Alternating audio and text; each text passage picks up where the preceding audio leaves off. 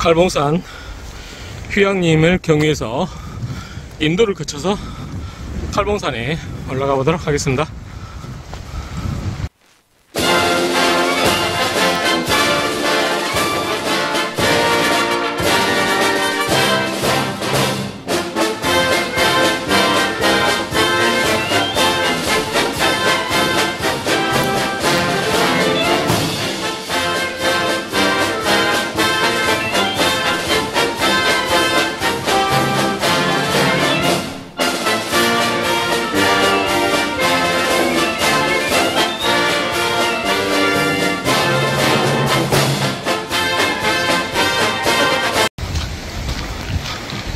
운무가 자욱히 깔린 칼봉산 인도입니다.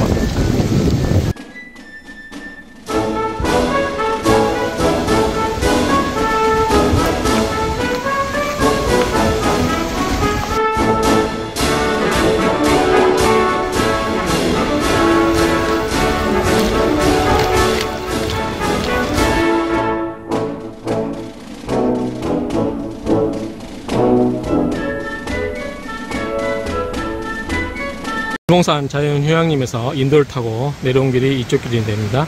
이쪽 길이 되고요. 자, 그 옆에 이 길은 계곡을 어, 따라 올라오는 길인 것 같습니다.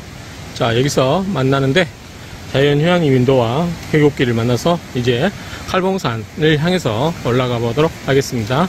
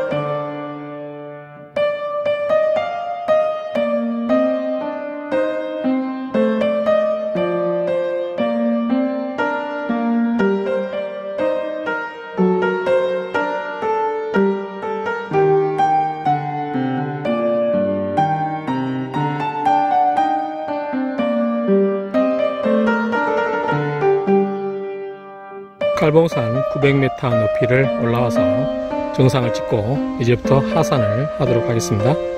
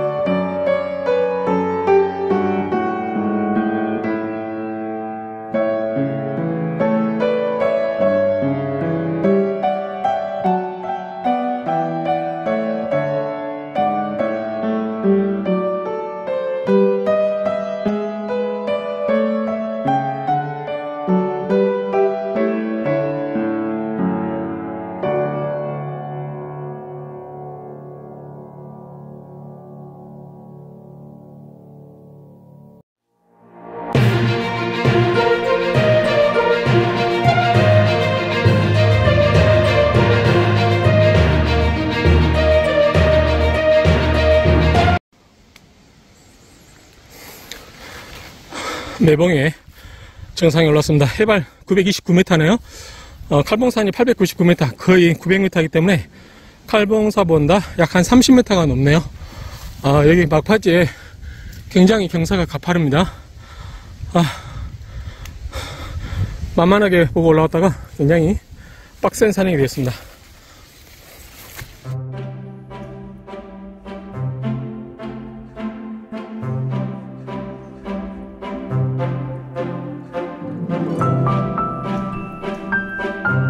매봉에서 다시 수락폭포 쪽 내려가야 되는데요. 여기 사람들이 안 다녀서 그런지 길이 하나도 어, 닫혀 있지 않습니다. 그렇지만 어, 한번 모험을 강행하고 내려가 보도록 하겠습니다.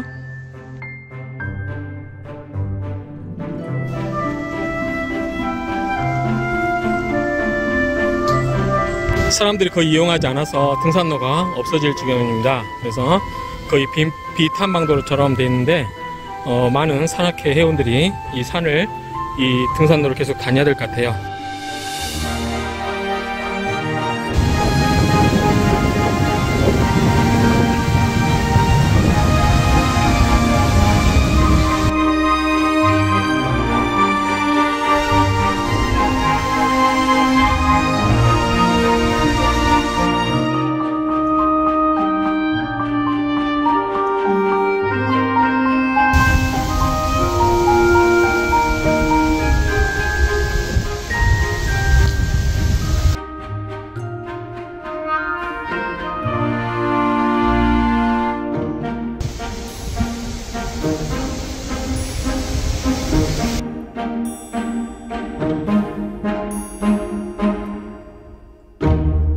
매봉에서 내려오다가 직진하게 되면 깃대본으로 가게 됩니다. 그러면은 경반리 저기 폭포 쪽으로 갈 수가 없어요. 그렇기 때문에 이 이적표가 나오는 지점에서 어, 경반계곡 쪽으로 여기서 직진해야 됩니다. 지금 경반문교 방향은 제가 사진에서 앞에 방향이 되겠습니다. 이제 김은능가 보면 또는 유기이나 보면 이렇게 안개 속을 계속 제자리를 뱅뱅 도는 그런 어, 이야기들이 나오잖아요. 저희도 그럴 수 있을 것 같아요. 다행히 이 트랭글 맵으로 지금 찾아보고 있는데 어, 특히나 이 산길에서는 어, 맵을 이용해서 잘 이용하시 내려가시기 바랍니다.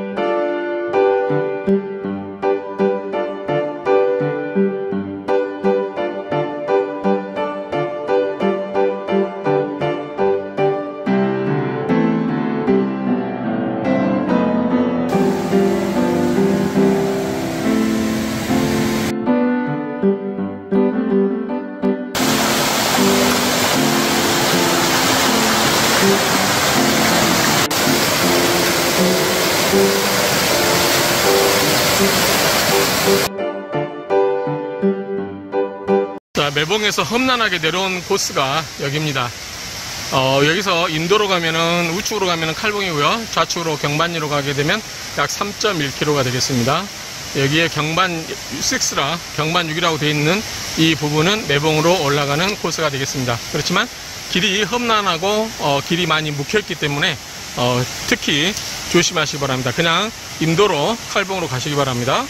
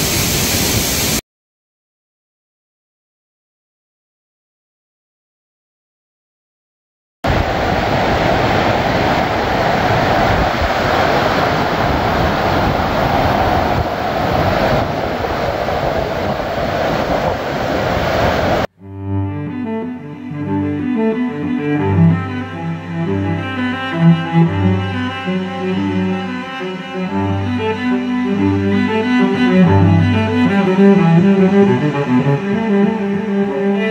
you.